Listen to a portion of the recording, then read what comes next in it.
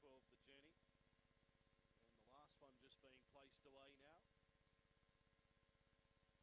It's in. That's Jamali. The boxes are shut. They're ready now. Green lights on. And Lewis set in action, ready to jump. Ready, racing. Zambora Flame out wide left well. Corborn Rocky won the start down to the winning post first time. So Corborn Rocky off went down around the first corner. Let's take stock. Corborn Rocky in front. Now Zambora Flame on the scene quickly.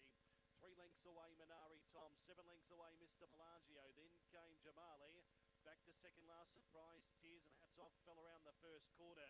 Zambora Flame in front. Now opening up the margin by two. Corborn Rocky to second, but Zambora Flame wins. Corborn Rocky second. Minari Tom was third. Uh, they were then followed next over the line by Mr. Bellagio. Then came Jamali.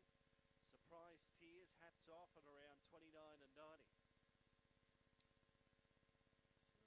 So, favoured backers on the right side of the ledger today at Mount Gambier. Five Zambora Flame from three, Corborn Rocky, number eight,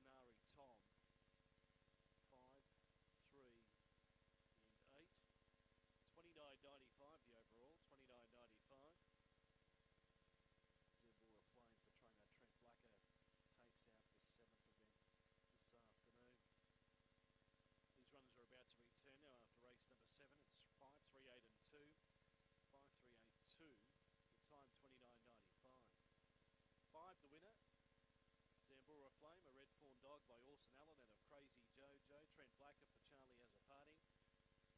Second number three. That was Corborn Rocky, a Black Dog by Fernando Bale, and of Corborn Ruby